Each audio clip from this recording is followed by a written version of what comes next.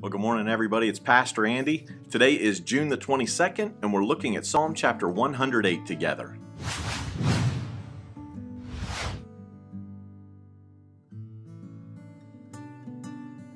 Psalm 108 is actually the combination of two other Psalms.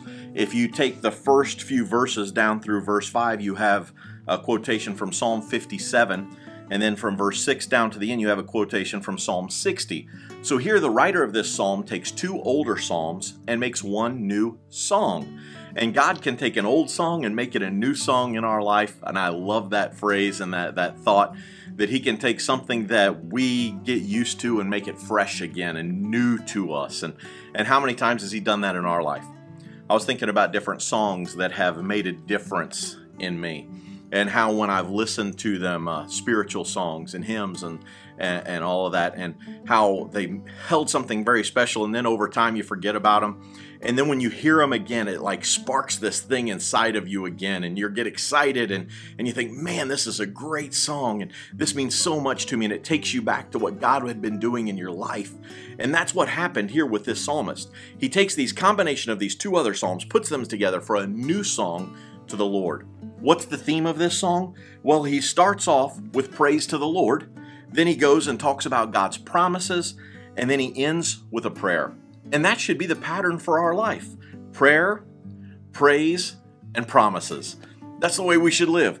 We live in prayer to God, bringing our requests before Him. We live praising Him. I love the way it starts off. Verse 1 My heart is confident in you, O God. No wonder I can sing your praises with all my heart. Down to verse 3 I will thank you, Lord, among all the people. I will sing your praises among the nation. He starts off praising the Lord, and that's the way we should start every day is praising God, lifting him up for who he is and what he's done and how special he is in our life. Then he goes into the promises and talks about how the promises to uh, God's people.